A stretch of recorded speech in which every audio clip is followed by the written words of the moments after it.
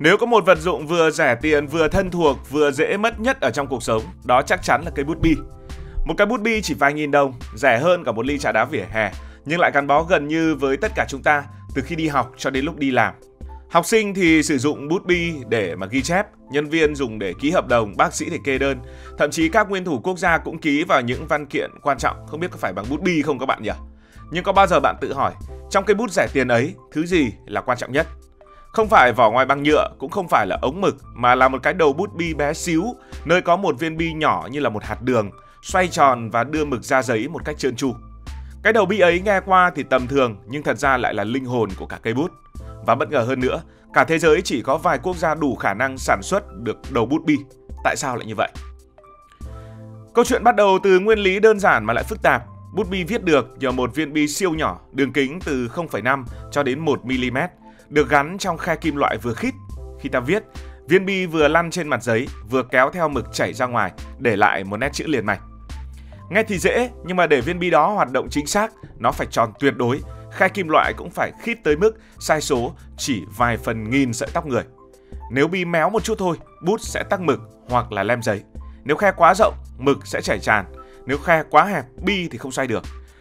Chính vì vậy, sản xuất cái viên bi bé tí này khó chẳng kém gì chế tạo một linh kiện đồng hồ hay một vi mạch điện tử. Điểm đặc biệt nữa là vật liệu của viên bi. Để viết được à, hàng cây số chữ, viên bi phải lăn hàng triệu vòng trên giấy mà vẫn giữ nguyên hình dạng. Nếu làm bằng thép bình thường, chỉ vài ngày là mòn, chữ sẽ nhòe. Vì vậy người ta dùng một vật liệu có độ cứng chỉ thua kim cương. Nó thường được dùng làm mũi khoan và dao cắt trong công nghiệp, một loại chất đặc biệt. Quy trình sản xuất cũng cực kỳ tinh vi, nghiền bột wolfram siêu mịn, ép thành hạt, nung ở nhiệt độ hơn 1.500 độ C, rồi mài bóng đến mức nhìn qua kính hiển vi cũng không thấy tì vết. Kỷ lục từng ghi nhận có viên bi nhỏ chỉ 0,28 mm, tức là còn nhỏ hơn cả sợi tóc người. Nghe vậy mới thấy cây bút giải tiền thực chất là một loại linh kiện công nghệ cao đến mức nào. Trong lĩnh vực này, Thụy Sĩ được coi là ông vua đầu bi. Quốc gia nhỏ bé nằm giữa châu Âu này vốn nổi tiếng với đồng hồ, mà đồng hồ thì cũng đòi hỏi những bánh răng và trục quay siêu nhỏ chính xác tuyệt đối. Chính nền tảng đó đã giúp Thụy Sĩ phát triển công nghệ chế tạo đầu bi từ rất sớm. Những công ty của Thụy Sĩ như là Premex đã xuất khẩu đầu bút bi đi khắp thế giới, trở thành nhà cung cấp chính cho hàng chục thương hiệu bút bi. Có người từng nói vui, bạn cầm cây bút bi của Trung Quốc nhưng trong ruột nó lại là Thụy Sĩ. Không phải ngẫu nhiên mà chỉ có vài nhà máy ở Thụy Sĩ thôi, nhưng từng có lúc chiếm hơn nửa lượng đầu bút bi toàn cầu. Đó là sức mạnh của ngành công nghiệp cơ khí chính xác. Bên cạnh Thụy Sĩ, Nhật Bản và Đức cũng là những quốc gia hàng đầu. Nhật Bản nổi tiếng với công nghệ luyện kim và gia công tinh vi. Những thương hiệu bút bi của Nhật Bản được ờ, người dùng trên khắp thế giới yêu thích bởi nét viết rất êm và không bao giờ tắc. Bí mật ở chỗ, họ tự sản xuất đầu bi của riêng mình, kiểm soát chặt chẽ từng công đoạn từ vật liệu đến lắp ráp. Còn Đức thì vốn là quê hương của ngành cơ khí chính xác ở châu Âu. Các hãng Đức chế tạo ra những máy mài bi tự động, máy kiểm tra bi bằng tia laser, đảm bảo từng viên bi bé xíu cũng đạt tiêu chuẩn tuyệt đối. Rất nhiều quốc gia khác, kể cả Trung Quốc cũng phải mua máy móc từ Đức để sản xuất bút bi. Nhưng cái bí quyết cốt lõi vẫn là điều không dễ gì nắm được. Và đến đây, điều khiến người ta bàn tán nhiều nhất chính là câu chuyện của Trung Quốc. Đây là quốc gia sản xuất bút bi lớn nhất trên thế giới, chiếm tới 80% tổng lượng toàn cầu, tức là khoảng 40 tỷ cây bút bi mỗi năm. Thế nhưng trong nhiều thập kỷ, họ lại không thể tự sản xuất nổi cái đầu bi nhỏ xíu mà phải nhập khẩu từ Thụy Sĩ hoặc là Nhật Bản. Báo chí Trung Quốc từng gọi đây là nỗi nhục đầu bi. Có bài viết còn chua chát khẳng định rằng chúng ta phóng được vệ tinh lên vũ trụ, chế tạo được siêu máy tính, nhưng lại không làm nổi cái đầu bi cho cây bút. Nghe thì có vẻ nực cười, nhưng đó là sự thật. Phải đến tận năm 2017, sau nhiều năm nghiên cứu, Trung Quốc mới chính thức tuyên bố đã sản xuất thành công đầu bi ở trong nước.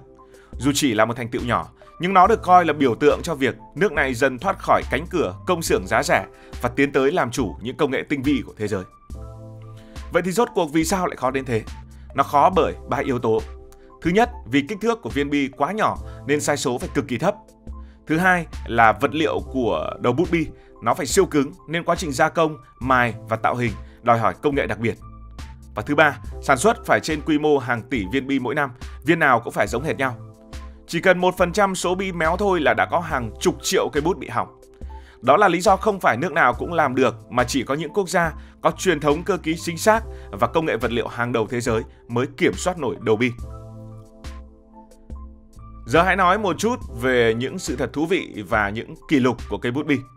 Nói về những kỷ lục thì cây bút bi, một vật dụng tưởng như tầm thường, lại giữ trong tay những à, con số không ít người phải bất ngờ. Đầu tiên chính là kỷ lục về độ dài viết. Một cây bút bi bình thường sẽ viết được từ 2 đến 3 km trước khi hết mực. Tất nhiên ở đây là viết theo một đường thẳng. Đây quả thật là một con số ấn tượng, nhưng từng có những cây bút siêu hạng được ghi nhận có thể viết tới 10 km. Nghĩa là ờ, chỉ với một cây bút nhỏ, bạn có thể đi chéo Hà Nội mà không cần dừng lại. Thử tưởng tượng mỗi chữ viết của bạn đều là một bước chân thì cả cây bút ấy sẽ đưa bạn đến một cuộc hành trình rất dài. Một kỷ lục khác là về số lượng tiêu thụ. Thế giới hiện nay tiêu thụ trung bình khoảng 100 cây bút bi mỗi giây. Tức là chỉ cần bạn xem hết một video YouTube dài hơn 8 phút thì ngoài kia đã có hàng vạn cây bút được bán ra. Con số này khổng lồ đến mức chính công ty Pic của Pháp, thương hiệu bút bi nổi tiếng thế giới, từng công bố rằng kể từ khi thành lập vào năm 1950, họ đã bán được hơn 100 tỷ cây bút bi. 100 tỷ cây bút bi nghĩa là nhiều hơn cả dân số hiện tại của trái đất rất nhiều lần. Đủ để mỗi người trên hành tinh cầm trong tay nhiều hơn một vài cây bút. Không chỉ nhiều về số lượng, bút bi còn giữ kỷ lục về sự phổ biến.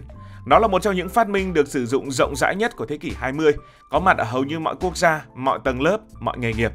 Một em học sinh nghèo ở vùng núi cũng dùng bút bi để chép bài, còn một vị tổng thống cũng dùng bút bi để sử dụng cho những ghi chép quan trọng của mình. Ít có phát minh nào vừa rẻ, vừa phổ biến lại vừa mang tính toàn cầu như vậy. Thậm chí cây bút bi còn nắm giữ một kỷ lục rất đời thường, nó là vật dụng bị thất lạc nhiều nhất. Nhiều khảo sát cho thấy trung bình một người có thể làm mất từ 3 đến 4 cây bút bi mỗi năm. Có khi bạn mua một hộp 10 cây bút nhưng chỉ một tháng sau đã chẳng còn thấy bóng dáng cây bút nào. Người ta hay đùa rằng nếu gom hết số bút bi bị thất lạc trên thế giới, có khi còn đủ xây một kim tự tháp thứ hai ở Ai Cập. Và tất nhiên, không thể bỏ qua kỷ lục trong văn hóa đại chúng. Bút bi không chỉ là ờ, là vật có công dụng viết mà còn trở thành biểu tượng. Nó từng được đưa vào bảo tàng, được nhắc đến trong sách kỷ lục Guinness và thậm chí còn bay vào vũ trụ. Những phi hành gia từng mang theo một loại bút bi đặc biệt lên trạm vũ trụ quốc tế để chứng minh rằng ngay cả ở trong môi trường không trọng lực, công nghệ nhỏ bé ấy vẫn có thể hoạt động. Cảm ơn vì đã quan tâm theo dõi câu chuyện này, câu chuyện về bút bi. Nếu cảm thấy thú vị, bạn có thể à, nhấn nút đăng ký kênh, bật chuông thông báo và chia sẻ. Bạn cũng có thể để lại những à, góp ý về những chủ đề mình có thể thực hiện trong tương lai. Còn bây giờ thì xin được nói lời chào tạm biệt. Với bạn, tuần vừa rồi bạn đã làm mất cây bút bi nào hay chưa?